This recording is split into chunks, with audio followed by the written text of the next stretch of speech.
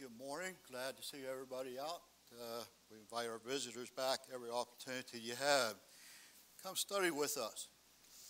I don't have a PowerPoint today, so I got one made, but uh, I went to go on OneDrive and it wouldn't let me cross back over to download it on my flash drive. So I'll, I'll scratch my head and try to figure out how to do that. But it's good to see everybody out this morning. And uh, we need the rain. That's one thing we're getting. That's good. I want to say something about uh, James 1 26 and 1 20, chapter, verses 26 and 27. Things are not always as they seem. What do you mean by that? Well, I looked it up, and Things aren't always what they seem. It's a phrase that can refer to an idea that appearances can be deceiving, or that our reaction to something may not be entirely related to the moment. We talk about fireflies. You see them little things that light up at night. We call them flies, but they're not. They're beetles. They're silkworms. They're caterpillars. They're not worms. Lead pencils were made of graphite, not lead. And there are others. English horns are French, alto oboes. so there's different things that we can see and, and do within our lives. If you ever watch TV shows uh, like Matlock and uh, Perry Mason and some of the others, they always come up with a clue where they can uh, track down the killer. And you sit there and through those shows or those movies, you think you got it all figured out, and then there's cute things that they throw in, uh, and you realize not what it seemed. It looked like that individual was guilty, but it wasn't. It's maybe somebody else. And that's something we got to, to realize. There are things that happens within our lives that are always as they seem. If we read, as read in James uh, 1, verses 26 and 27, James tells us that a Christian with an uncontrolled tongue is not pleasing before God. And he's not. Yet, we like to think that the Lord won't care if I use certain euphemism in place of those words from time to time. Likewise, real religious conduct is observed by those Christians who care for widows and orphans. How many Christians do you see doing that? So we're in a bind here, aren't we?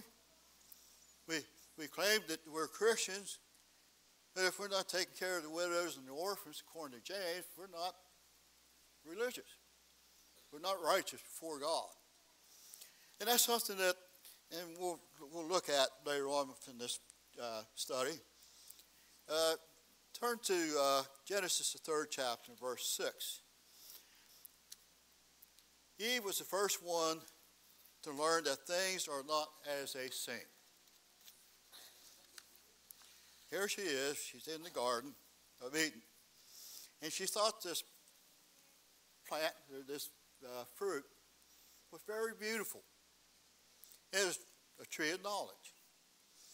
And it can make a person wise.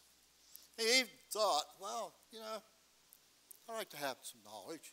And this fruit is very precious and, and so beautiful, kind of hard not to, to take a bite of. And it comes to that fact that she took a bite of that fruit and gave it to her husband. In Genesis 3 and 6, and when the woman saw that the tree was good for food, and that it was pleasant to the eyes, and a tree to be desired to make one wise, she took of the fruit thereof and did eat, and gave also to her husband with her, and he did eat. How many times have we seen something that is pleasing before our eyes, and we finally take part of it and realize it's not what we expect it to be? Not what is seen. And that's something that maybe we would have thought the same thing as he did, seeing that precious fruit hanging there and thinking, boy, that really looks good. I wonder what it tastes like. I think I always used an example of Banner when they got rid of steam driven uh, power down there and went electric. And they always told us not to touch this one button because they would never get the, start, the machine to start up again, ever. And we stood there and we looked at it, and it's tempting, this nice red button there on these computers. And we kept thinking, well, what would happen if I pushed that button? Would it shut down like they say? Would it not ever start again? Which would make some of us happy. but at that time, we, we thought about it. And if we knew that the plant was going to shut down, I would have loved that, had that last day of my job go, bing, and see what happens. But we get tempted. And we got things that it's not always what it seems to be at times had an individual come in down there that uh, supposed to be an expert on the on the steam power that we had, and he tore it apart, fixed it up, and cleaned it up, and all this thing. Well, he left a washer out, and this uh, one uh, maintenance man kept that washer in his pocket after he seen it laying there, and they couldn't control the speed of the the steam power uh, motor that was ran by steam, it kept taking off and ready to blow everything up really down there at Banner if it wouldn't shut down. He spent two weeks on it. Two weeks. And we was out of work for those two weeks waiting for him. I'd go in, try to help start it up. And that one maintenance man says, Here, you need this. Oh, washing ain't going to make a difference. Get out of here. You know what you're talking about. Well, guess what? He finally got upset with the individual, and he took that washer, he put it in where he was told to put it in. That motor ran great. It took that one washer. Didn't seem important. Things are always what they seem to be. How, how can a washer make that big a difference? but it did. And sometimes we do the same thing within our daily lives. And we got to, to realize that we're sometimes like Eve. We see something, we look precious to us, and we try to take a bite of it. Yet, what it brought was a life of hardship and pain and childbearing. In Genesis, the third chapter, verses 16 through 19. And to the woman he said, I will greatly multiply thy sorrow, thy thy conception. In sorrow thou shalt bring forth children, and thy desire shall be to thy husband, and he shall rule over thee. And to Adam he said, Because thou hast hearkened to the voice of the wife, and hast eaten of the tree of which I commanded thee, saying, Thou shalt not eat of it, cursed is the ground for thy sake. In sorrow thou shalt eat of it all the days of thy life. Thorns also and thistles shall it bring forth to thee, and thou shalt eat herb of the field. In the sweat of thy face shalt thou eat bread, till thou, thou return to the ground. For out of it wast thou taken, for dust thou art, and to dust shalt thou return. Because of her taking of that fruit, it brought on misery upon mankind, brought on sin. And mankind got now work hard for what he gets. Once in a while, we, we get out there on Eric's farm and we're picking those black raspberries, and, and we, we once in a while we say, thanks, Eve and Adam, because I'm getting pricked and, and stuck with the thorns and everything and trying to dig into the plant so I can get the black raspberries or, or Jim and and we'll just get practically eaten up by, by the thorns, no matter what you wear. And uh, the fact is, we are working a little bit harder. We're down there sweating. But this was all brought on because of Eve and Adam at that time. Even though it looked precious, even looked good, but it brought on a lot of misery. And that's something that we sometimes get involved in our lives we see something that is precious, and we partake of it, and then we find out it brings a lot of pain and misery within our lives. Some people are hooked on drugs and, and alcohol, and they think, well, it's good. It, it looks good. It's precious. Look how them people are on TV. They make it really look precious, don't they? Very good. Fun. Partying. And then they get involved in that stuff and then find out brings a lot of misery in their life. Always got a kick out these truck uh, advertisements as I'm thinking about not always as it seems. And they're pulling all this heavy equipment in their pickup truck, brand new. And, and you ever read the bottom part?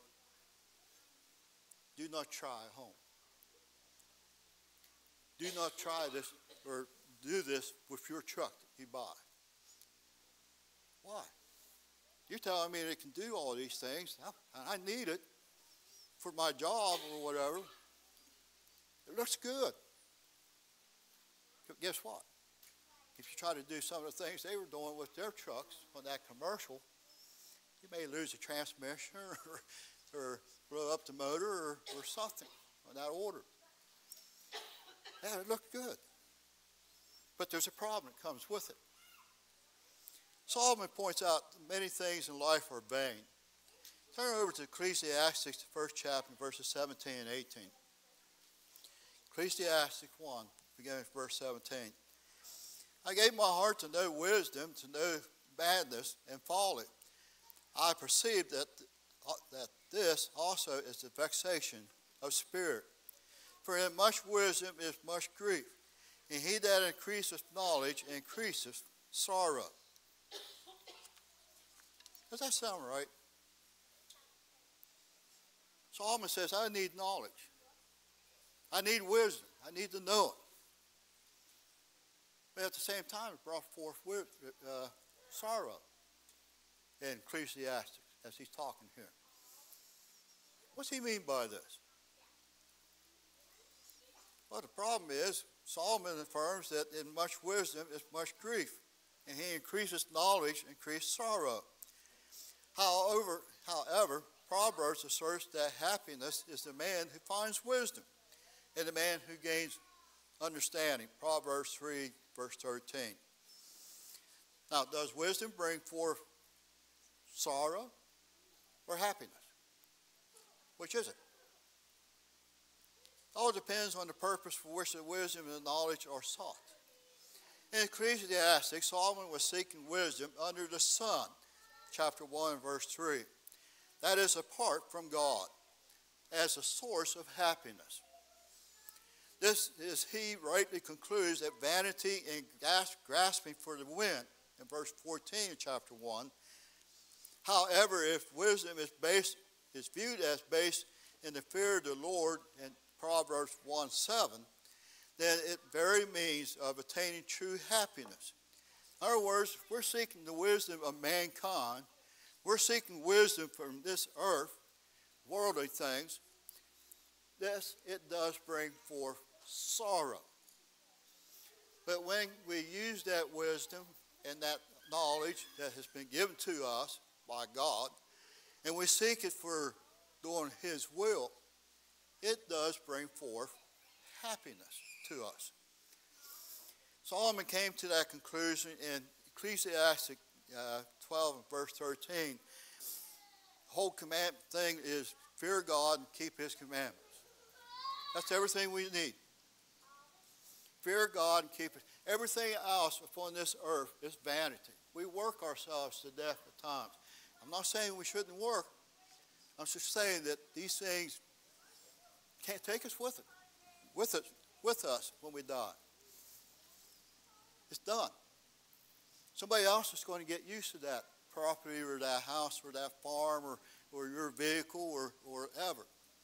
Somebody else will use it until they die, and then it passes on until the judgment day. It's vanity. Sometimes we, we kill ourselves at our work trying to get all these material things and don't benefit us any, really much within this life. There's a little bit of enjoyment, but what about life eternal? God has given us something that is better than any physical thing that we can have upon the face of this earth.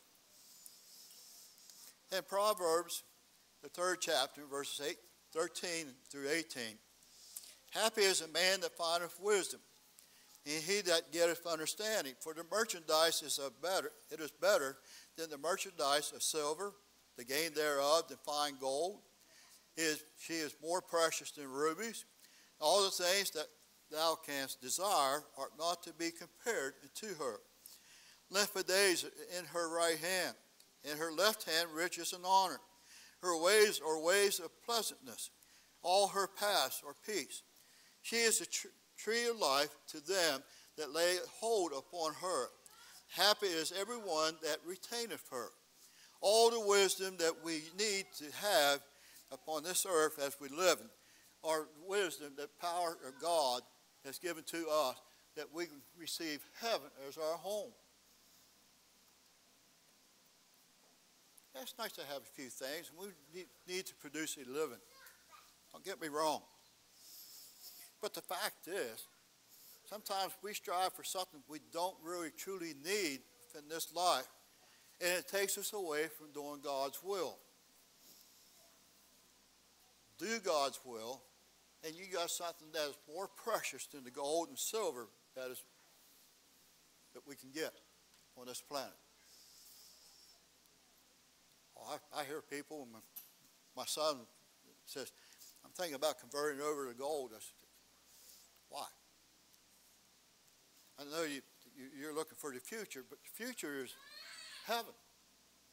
Our future is spiritual. That's the one we need to be striving for. That's the one we need to be working for at all times. That's the one that we need to have when the judgment day comes, or the fact that we die before Christ comes back. We have heaven as our home.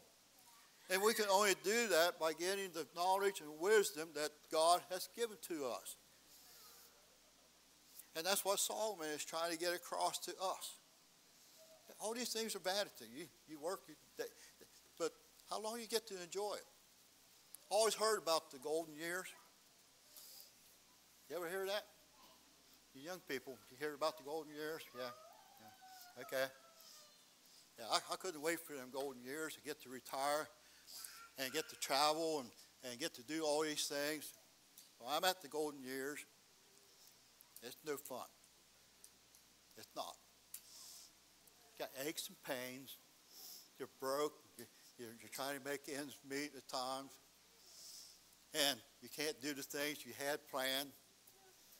And some of the ones that you were friends with and, and loved throughout the life as you grown up died. No longer around that you can talk to or visit with. Yeah. Golden years. Uh-huh. I always told, told somebody I'd like to find out who started that because I want to call him a liar.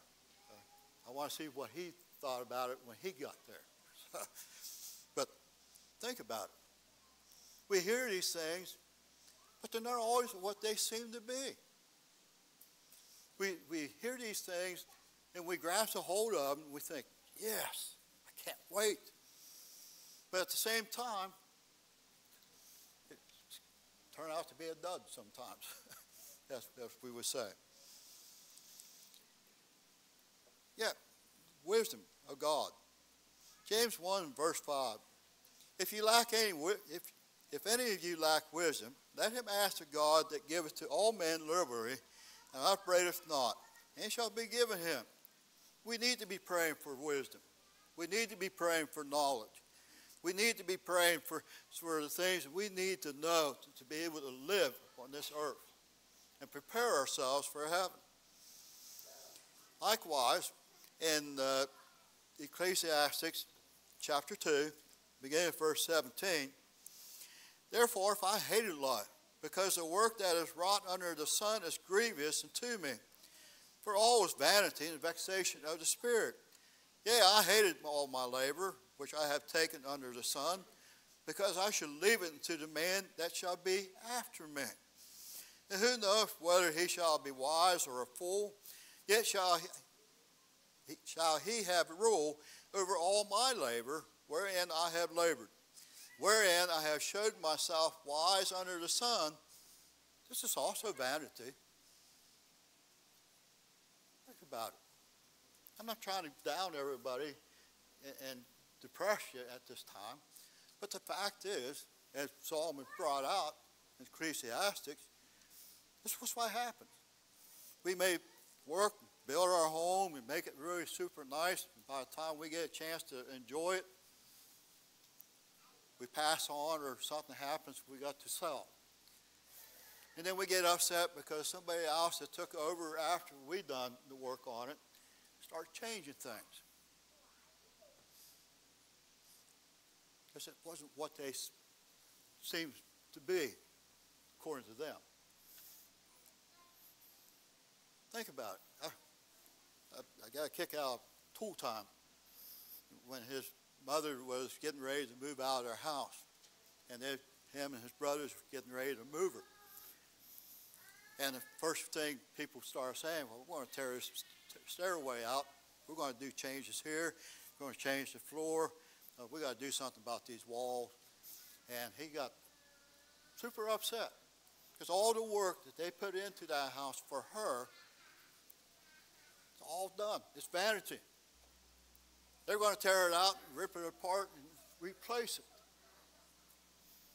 And sometimes we forget to realize that sometimes the property we own, the, the farms or, or whatever, yeah, we enjoy it. But the next person, what's going to happen to it? How are they going to take care of it? And we get upset about it.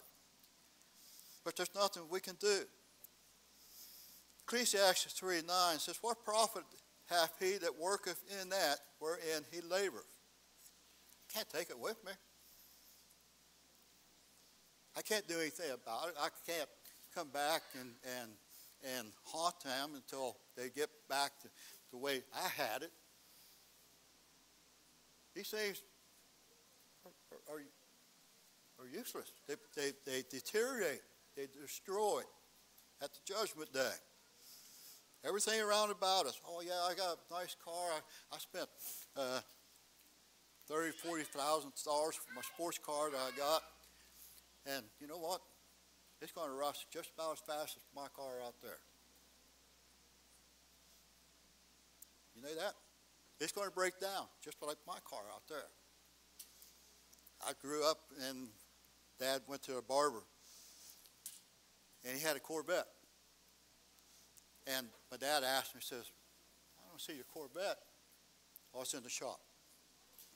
So we go back a month later, and where's your Corvette? Well, I had to put it back in the shop. And here he is. He, he bought this nice Corvette. And it was a nice looking car at that time. But it spent more times in the shop than he did driving it. What good was it? It was all vanity. He spent all that money for a nice looking car that he couldn't drive 90% of the time. Think about it. Also talk about our work. Ecclesiastes 6, 5 and uh, beginning verse 10 and 11. He that loveth silver, silver shall not be satisfied with silver, nor he that loveth abundant with increase this is also vanity. When goods increase, they are increased that eat them. And what good is there to the owners thereof, saving the beholding of them with their eyes?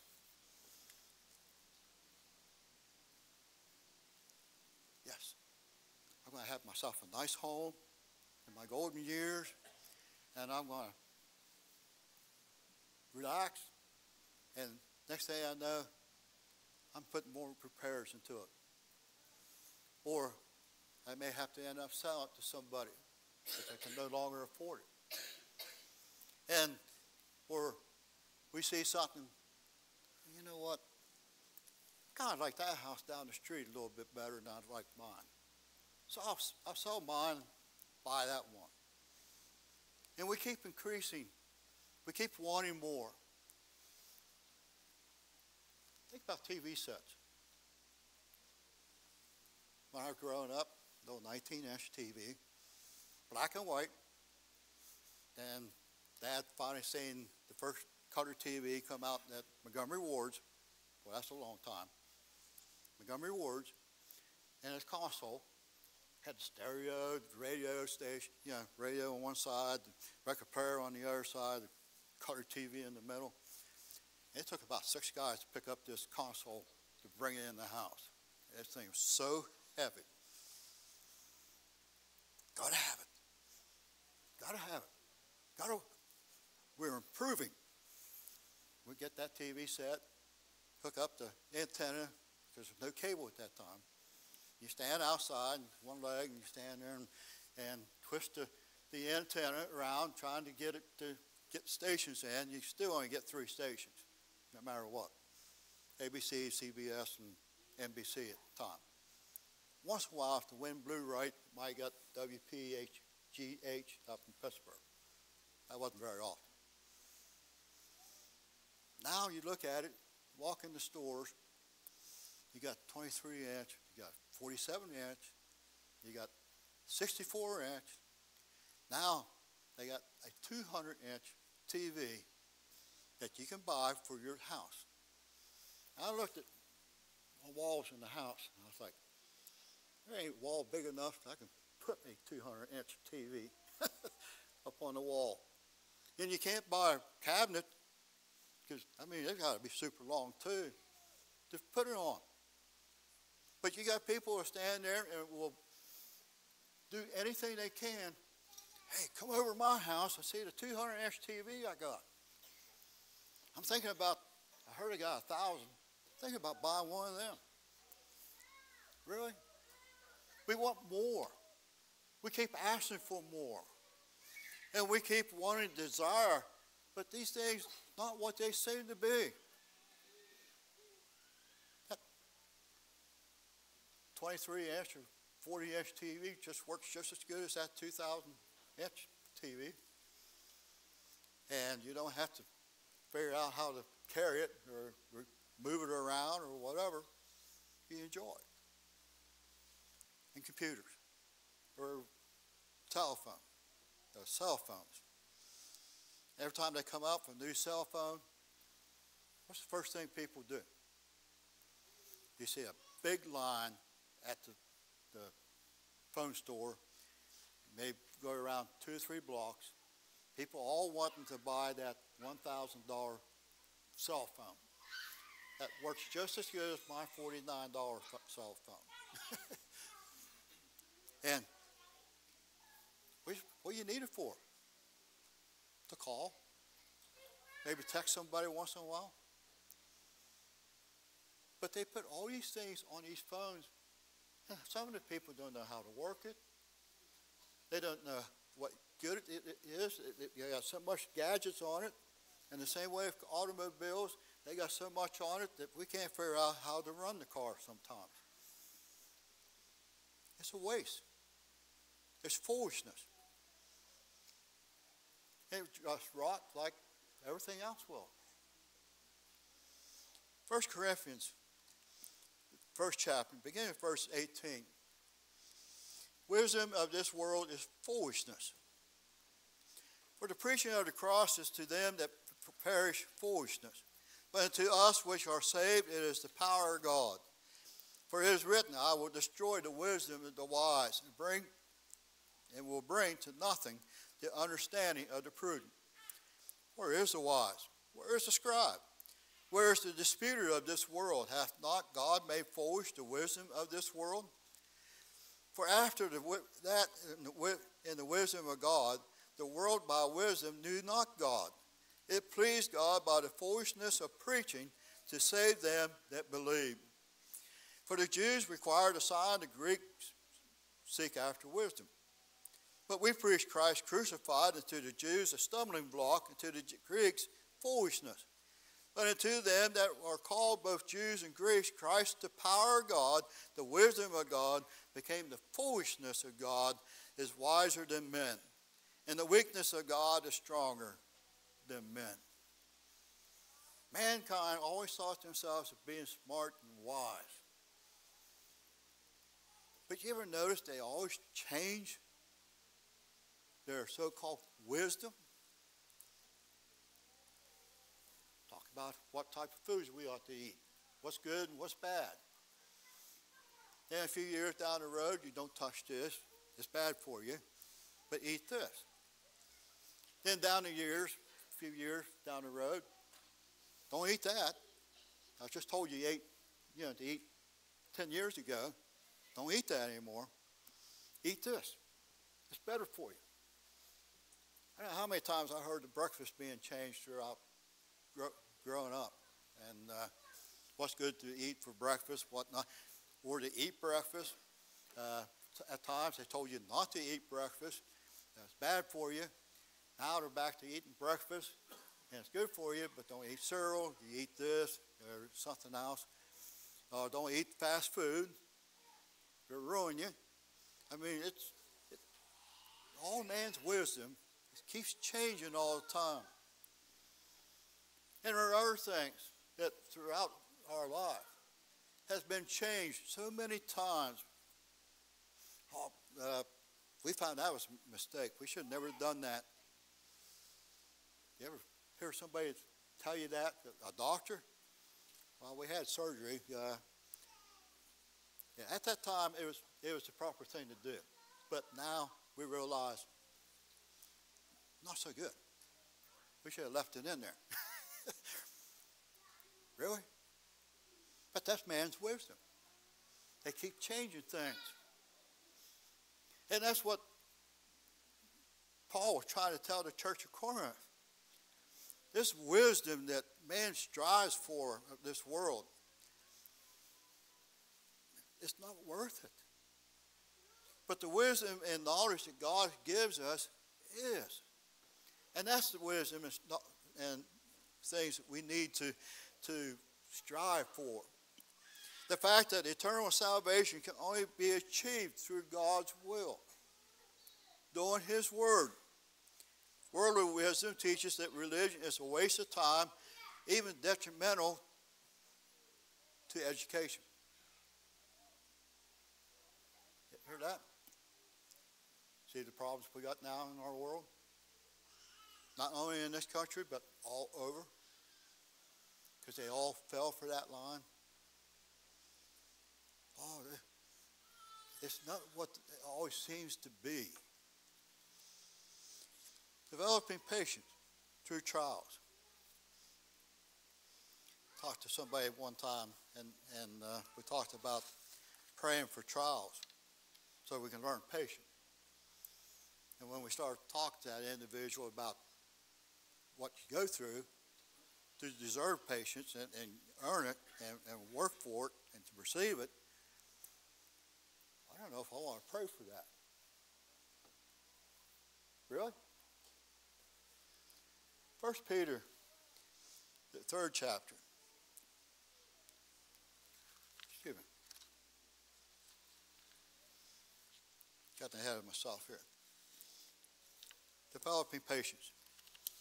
James, uh, verse, uh, chapter 1, verses 2 and 3.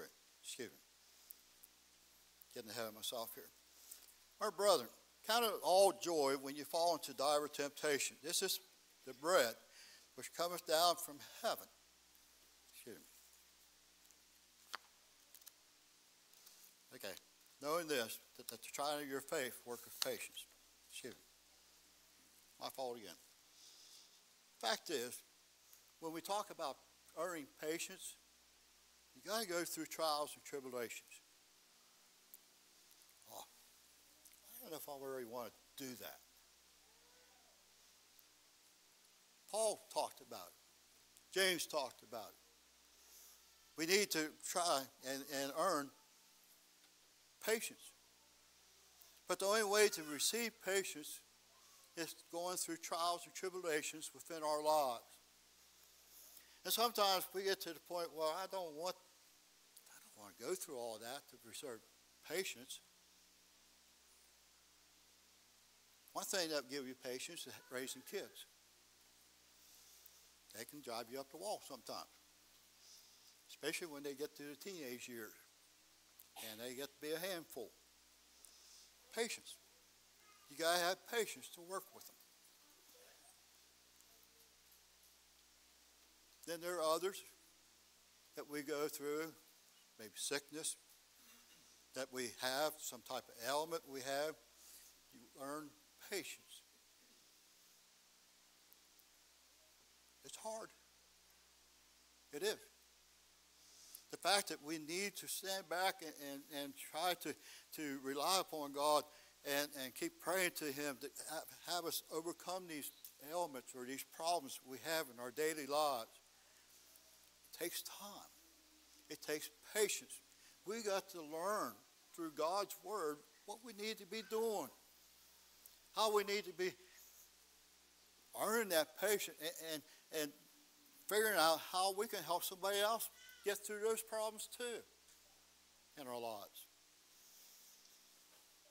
Yeah, it's a handful. But we must do such. We must strive for that patience. We've got to, to learn to sometimes keep our mouth shut uh, before we stick our food in, foot in them, in our, our mouth. We got to, you know, maybe quit hearing some things. Oh, I shouldn't, I shouldn't, I shouldn't get involved in gossip. I shouldn't be saying things I should, uh, shouldn't be saying. I, got to, I got to be like the three little monkeys you see close your ears and your mouth, and sometimes close your eyes. Patience.